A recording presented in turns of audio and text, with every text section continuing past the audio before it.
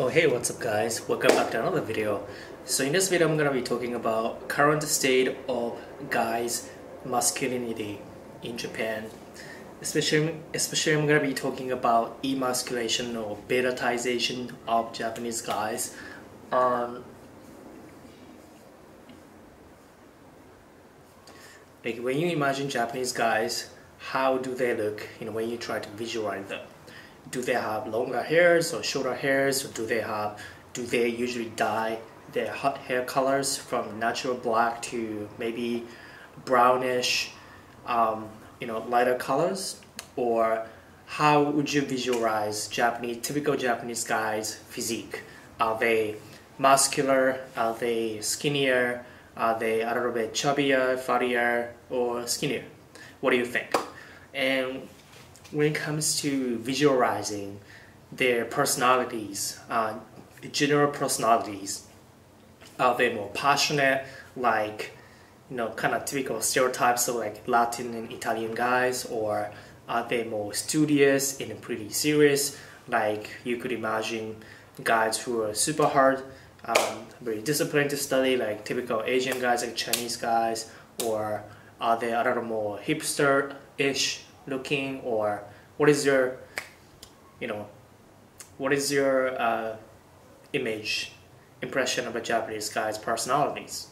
And I'm gonna give you like I grew up in Japan for first 20 years spent time in 20 years being exposed to Japanese media and parents teachers friends um, movies stories TV shows Japanese advertisement which says pretty much everything about being like growing up and being absorbed in like Japanese way of thinking because those ideas, um, belief systems, and mindsets are created through those stories and movies and TV shows and advertisements by people, a majority of people who are also conditioned by those medias, right? And then those ideas, ideologies, cultures get passed on to next generation after generations after generations. Uh, so if you don't pay close attention to where you got certain belief system or mindsets or ideas, then it is likely that you're living based on somebody's expectation or ideas constructed by most, most often by media's companies because there are ulterior motives and conflict of interest. For example, here watching movies or TV commercials, obviously uh, the conflict of inter interest exists between viewers like Japanese people and also companies who want to just make money. Movie as well. They just make a smash hit, splash the water, so they want to make a movie as relatable and acceptable by the audiences as possible. So uh, there are a lot of uh, ideas being manipulated, catered towards uh, certain kind of audiences. Um, so with that said, uh, without further ado, I'm going to talk about guys. Um, current process because I've been watching uh, North America, Western countries, especially English-speaking countries, emasculation, uh, strong males, kind of alpha male type being bashed by a lot of current um, movement. Also, uh, extreme feminism, extreme uh, betatization by society, school, uh, people. Also, victimhood, uh, victim mentality by a lot of like you certain kind of people. Basically, they're complaining or they're basically casting a blame on certain people, and in certain cases, men or a little more strong men or aggressive men or confident men tend to be um, casted blame upon because kind of sometimes it's convenient. I'm not saying all the time, and I'm not saying you know all the guys are innocent or all the guys are guilty or they are uh, they should be ashamed ashamed of their own like you know confident and masculine feature for themselves. But I'm saying that um, because I want to make this uh, video a little more generic and uh, more or less politically correct catered toward the uh, general audience as well as protecting myself you know there's conflict of interest as well um, but yeah um, in general, the um, there are a lot of pressure put on Japanese guys. Um, that betaization process or emasculation process even started before West Western countries. So past 10 years, maybe 15 to 20 years, um, the social, like media's rhetoric uh, or their narrative is that strong and confident guys are evil and they're narcissistic. So that their their narrative is that if you are a guy and if you are confident, strong, and macho and uh, exuding a little bit of confidence, then you're gonna be perceived as narcissistic, which doesn't necessarily mean always true, right? Men and women are born different biologically.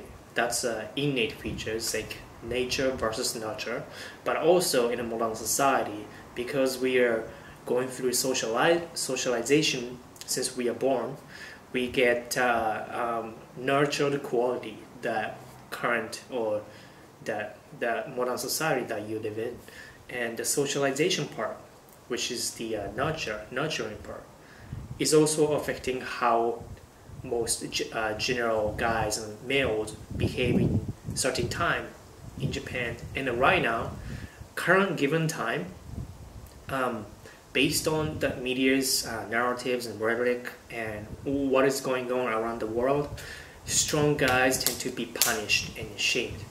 Um, you can observe that you can observe that quite a bit when you ask a Jap- local like Japanese girls, what kind of guys do you like? What is your you know what's your type? Like what is the uh, qualities that you're looking for in Japanese guys? And I did uh, I've done an interview, street interview with locals as well as I've grown I've I, I've grown up in Japan, so like I surrounded myself with Japanese people, right? So between just not just from females' opinion, but also from males' peer opinions, which is you need to be careful and aware that those opinions are also influenced and uh, formed by exposure to media and the public and socialization, which is nurture, not the nature. Um, the general opinion is that it's better to be beta, it's better to be soft, and it's better to be agreeable, it's better to be likable by everybody, it's better to be polite and not assert your own opinion or assert what you want. Um, basically, everything opposite of being assertive, being dominant, being confident. Um, so what, what does he say about it? Basically, that's what's happening in Western countries past three to five years compared to like let's say 20 like two decades ago, a few decades ago. Especially with the, this whole like feminism movement as well as um, this victimhood mentality of like casting all the blames on males or let's say um, you know basically there's even a TV show called uh, Silicon Valley right and then there's a I just watched a YouTube video about how that there was a news that frontline news was glorifying kind of typical what beta male looks like because they have less aggressive features, they're softer, and uh, basically the, there's a conflict of interest between you know males and females, and basically those feminine, like extreme feminists out here want to have those beta males um, they, basically want their you know desires to be catered by those beta males because it's easier to control. Um, and also schools and teachers moms you know father-less food environment is contributing to the fact that guys or males don't know how to let's say be a more assertive and then dominant and then how to lead. Um, anyways uh, so in japan yes you need to be soft. You don't want to be obviously be you don't want to appear like you're a little bit too confident because it's pretty sensitive there. Pretty oversensitive i would say. People get hung up on or get triggered. Um, it's pretty easy for many even guys as well. There's a peer pressure among guys.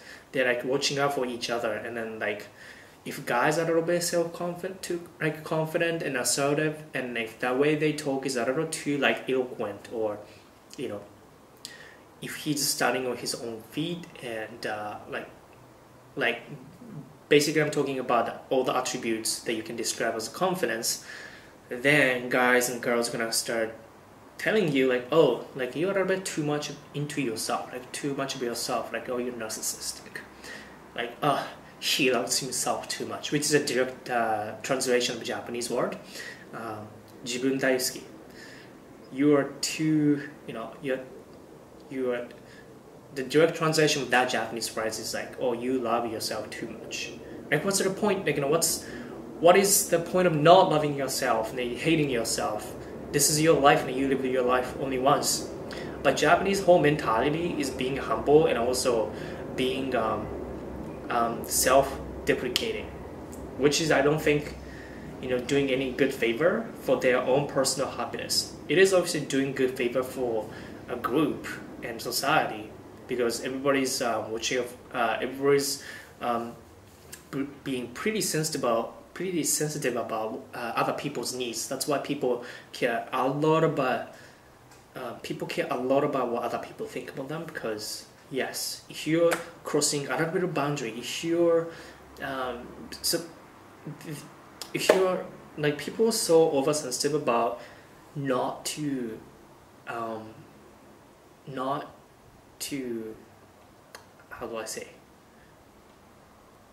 Not to like being polite but like try not to be polite impolite to other people um, I don't know it's it's it's it's kind of like people are putting other people holding other people accountable for their own feelings. So it's kind of like these days yes in a western society where kind of snowflakes are holding other people's accountable for their own emotion because they feel like oh i'm oppressed or like oh i'm like i'm offended. So in japan people like so so so scared about offending people. Even just the slightest thing. And people hold other people responsible for their own feeling and people are really scared. A little bit like freaked out about not offending other people. And so they take like five extra steps to not do that. And that's why you say like you see this uh, uh, behavior where every Japanese people who are just starting to learn English they every like, you know every 10 seconds they're gonna say oh sorry. Oh sorry. Same like a Chinese I, I noticed that too or Korean. Typically like Asian uh, ethnic Eastern Asian people they have this mentality and also humbleness and self-deprecation and uh, basically they, they don't want to so this like a betatization and the emasculation applies to China and Korea and Japan. Pretty similar based on my observation of TV drama movies and how society and girls fantasize like a beta male, like a nice beta male, agreeable, likable, and easy to control. And they definitely punish strong, assertive, and masculine, dominant guys. You know what? Because it's kind of like they're shaming those guys, people. Uh, they're putting cast on, putting, casting blames on those people, and they, yeah, of course, cause you know they are looking for their own interests right now, and oftentimes, um, it's easier to have agreeable, nice guy orbiters around yourself so that you can they can cater your needs. Like oh shopping. Oh can you pick me up for you know shopping or like a night after a night out the nightclub or bar or or just uh, to to have a shoulder to cry on. And by see like what they want and what they desire and what they really want based on their instinct. Attraction is instinct right? Like hunger or fatigue um, attraction is instinct. It's being carried over past two million years, over a thousand generations past uh, uh, ancestors. It's part instinct, it's part emotion, and other part is socialization and nurturing and actual decision, like logical, like conscious choice.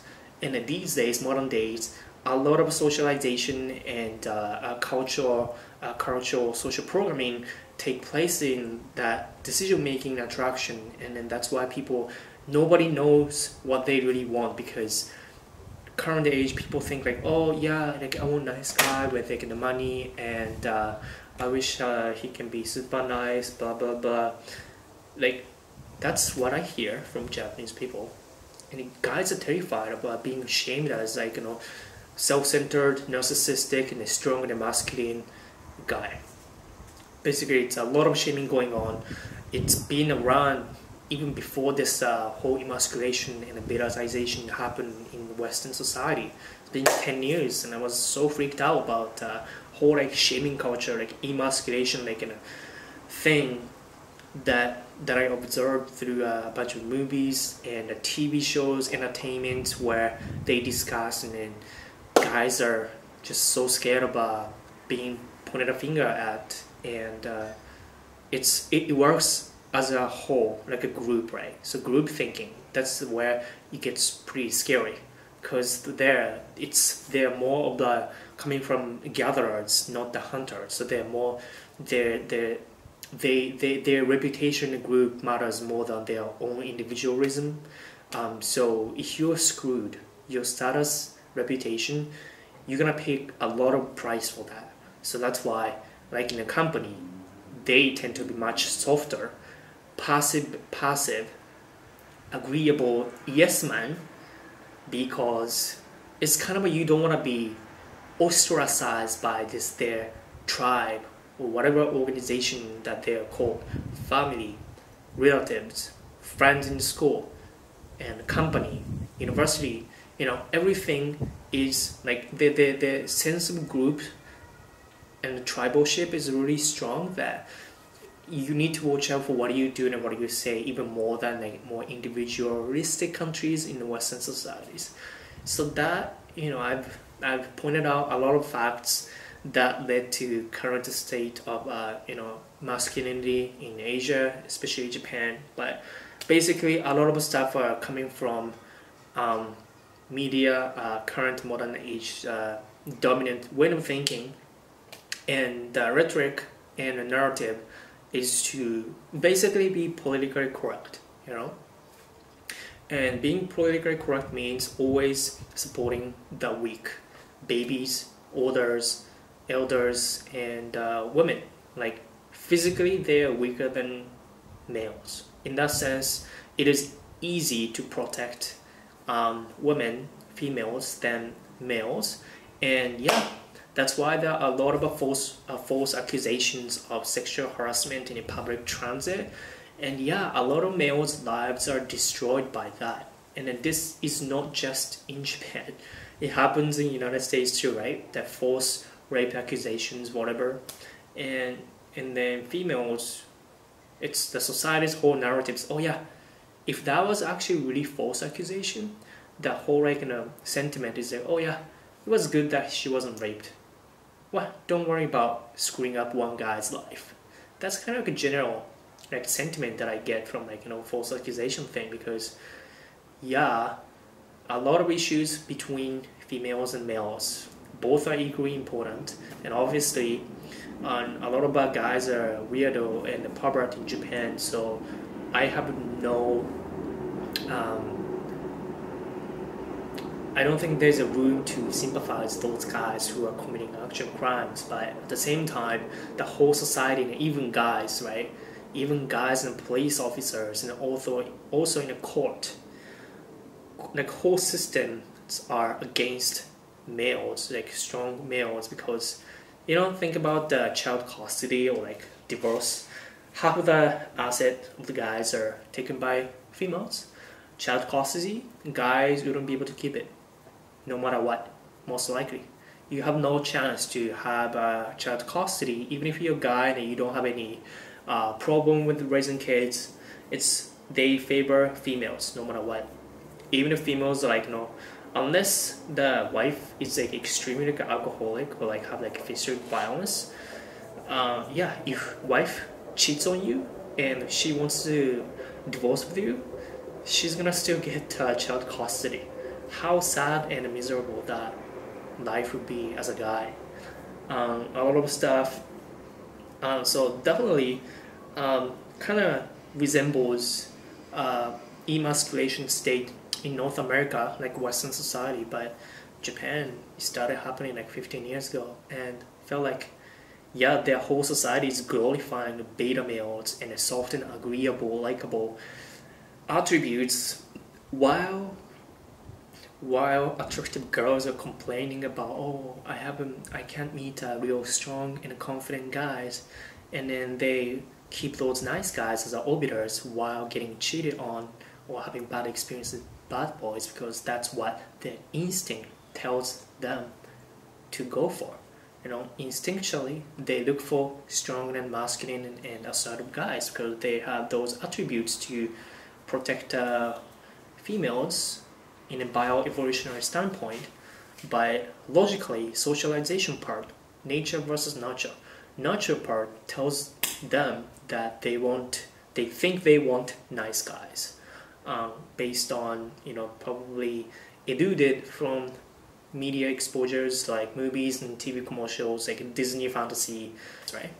So yeah, that's about it. Current state of guys like emasculation process in Japan, pretty bad. That I felt like in a pretty uh, oppressed or I felt uh, constantly being shamed by. Uh, I mean, just watching TV shows, uh, advertisement, I see everywhere.